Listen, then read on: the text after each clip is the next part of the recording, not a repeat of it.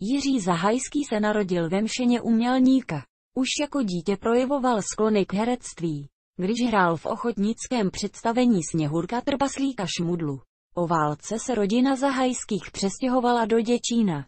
Už jako student tam hrál v tehdy velmi kvalitním souboru ochotníků pod vedením režiséra Hypia.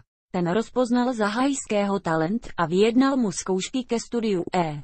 F. Burjana. Zahajský poté vystudoval ještě herectví na Damu a stal se členem Vinohradského divadla. 1961 až 1965. V roce 1965 se Zahajský stal členem divadla Zabranou, kde hrál společně s Vladimírem Menšíkem na Př. Ve hře Maškary z Ostende. V roce 1972 bylo administrativně divadlo Zabranou zrušeno a Zahajský společně s Libuší Šafránkovou odešli do činoherního klubu.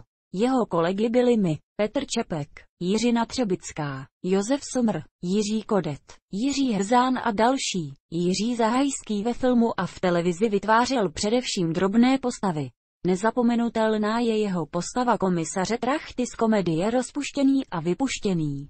Vytvořil několik rolí kriminalistů. Jeho plnovou mu dal příležitost k stvárnění rolí hajných. Hrál i v rolích otců.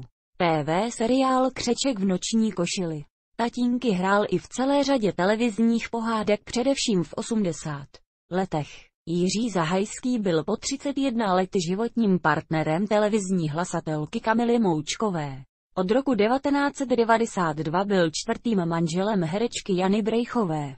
Jiří Zahajský zemřel v Praze po dlouhém boji s rakovinou prostaty 19.